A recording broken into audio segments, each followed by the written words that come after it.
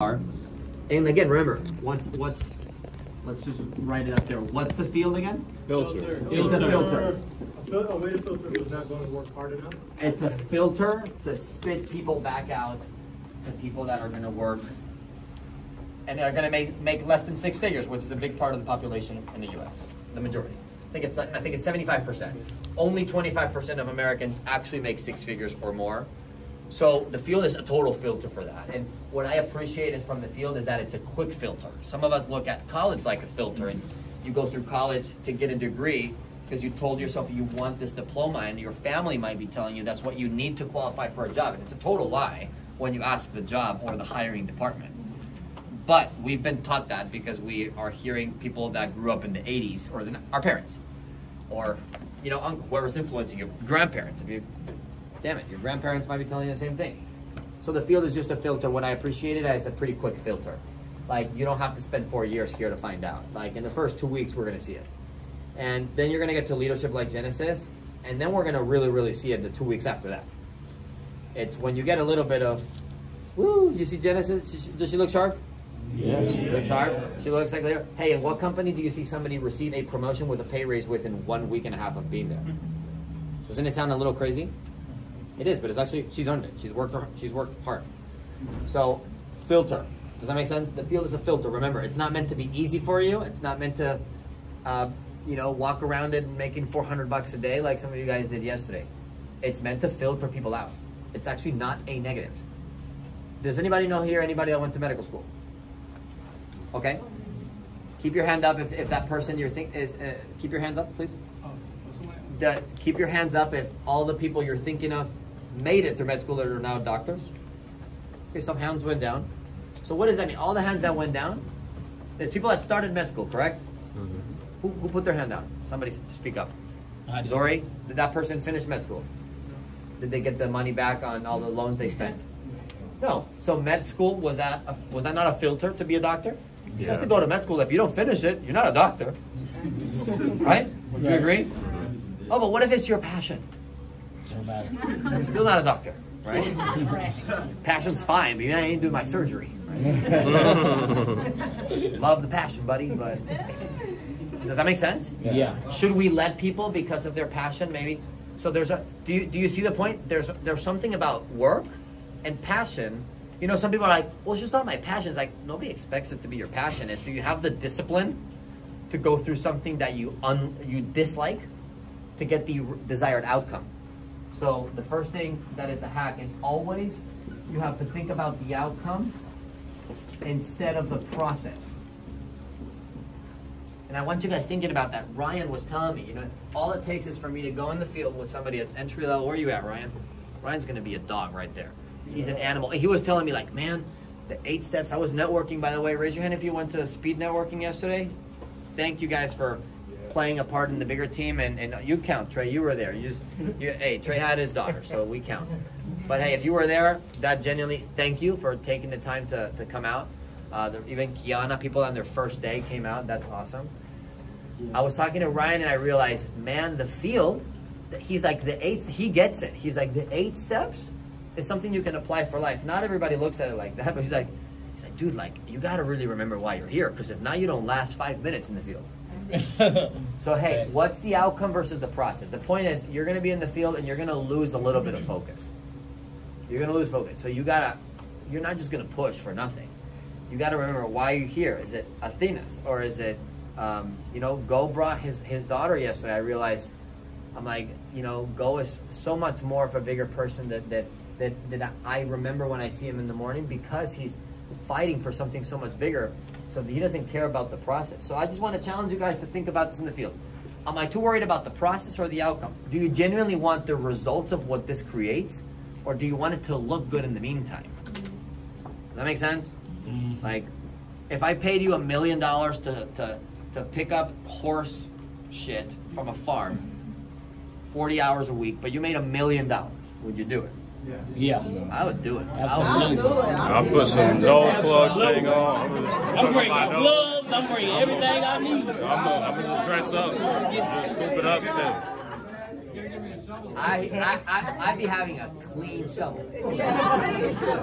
it would be clean after each scoop.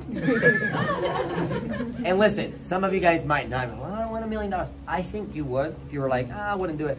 Uh, you know, I think for one year to make a million bucks, 40 hours a week. You know, 40 hours a week. They say that's full time, but that's less than 40% of the total time available in the week. So hey, would you work 40% of your time To make for a million bucks? Yes. Yes. If you have to pick up horse crap or pig crap, or if you had to do a job you didn't like, hey, you might go to the job and have a bad attitude. It is a different skill to go show up and have a good attitude about it. A whole nother level right there. That should probably be two million or ten. Mm-hmm. but but would you do it? And I remember yesterday I was in the field and I was I was getting negged out. You know what I mean? Like you might think I'm special or something. I went in the field and I was getting pissed. Tommy just left, but I was in the field. I was like, this is not gonna work. Nobody wants a fucking toilet. if they're broke, why would they want a free quote? They're broke, so they're, what would you would you get a free quote on something you're never gonna use? All these thoughts are going through my mind, and and and, and what I just need you guys to remember is negatives fill in the gap. So what do I have to do? Avoid the gap. I was going 20 minutes without a talk to, so I know you're going through that too. and then I start, I, and I remember I was catching myself my first lap. I was like walking. I was not running, and then I realized on my second lap, I'm like, we gotta run. I gotta run. I gotta run. It's not because I need to run quicker to the next door. It's because I need to avoid the the, the The time gap. with nothing. You know, I realized on my first lap what happened to my phone.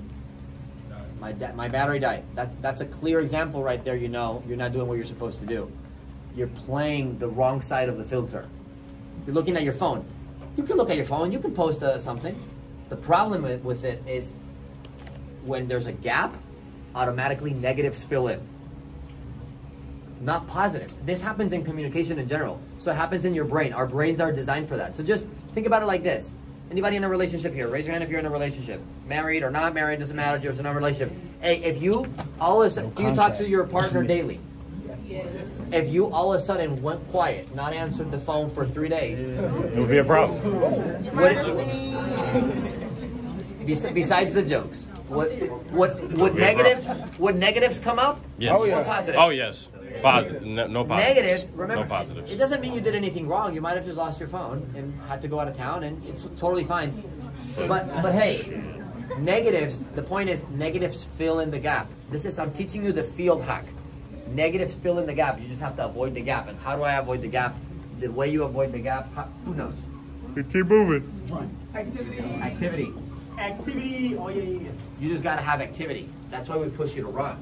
I don't want you to run. If you could do it walking, do it walking. I don't care.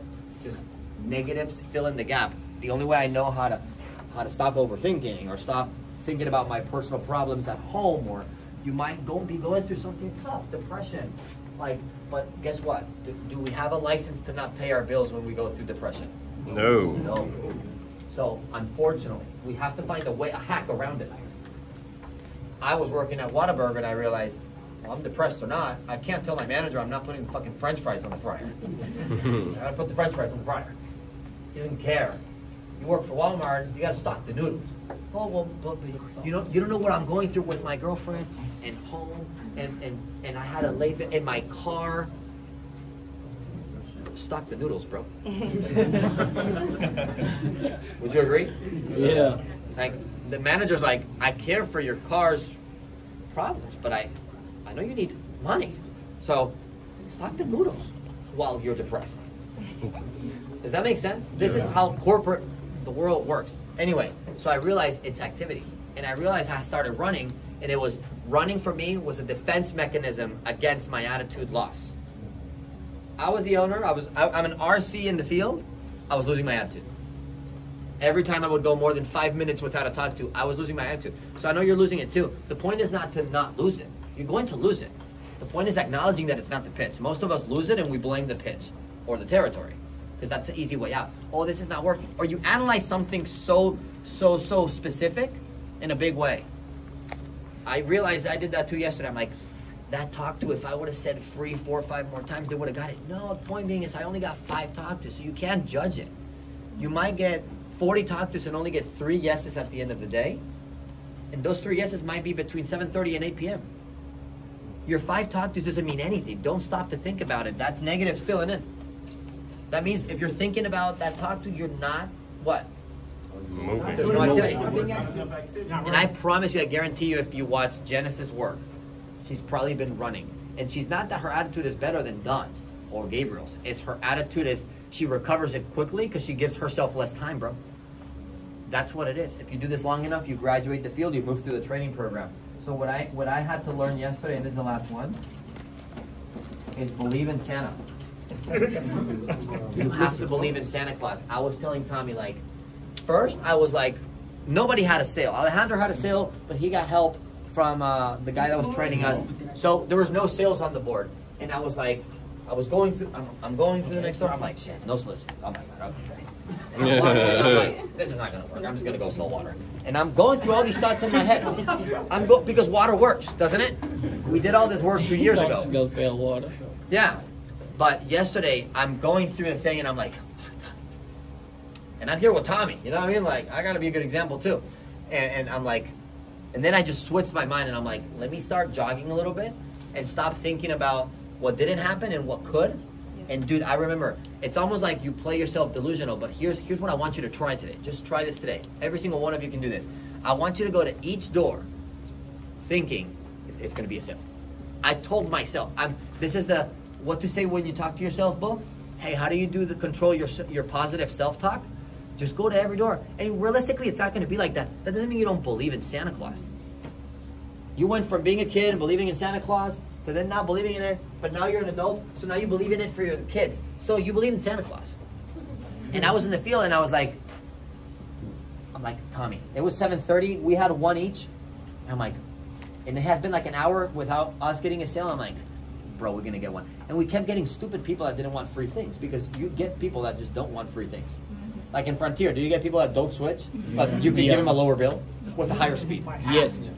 And they know it. They know In it. water, do you do you get people that are genuinely Yes. carrying these cases Yes. and like they could get it? s- Yes. You can actually genuinely help them as a helping person, Yes. Hmm.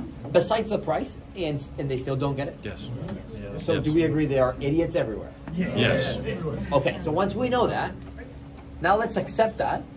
And I was just, dude, I was like, Tommy, we're gonna get one, bro. We got the cut. It was a straight cut at 8 p.m.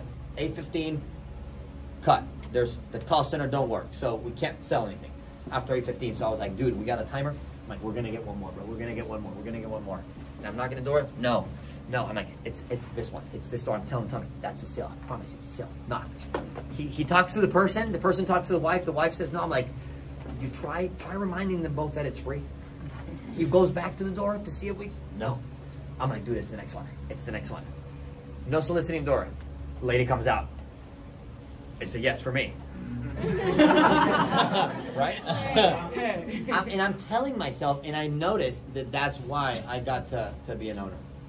It's because I had the just the discipline, and then you guys can all do this too. I had the discipline to say, it's the next one. I was not naive. When they said no, I wouldn't get butthurt. When they said no, I'm like, well, that's okay.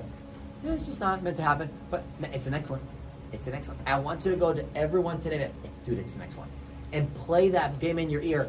And when it's not, it's okay. But it's the next one. And it's always the next one.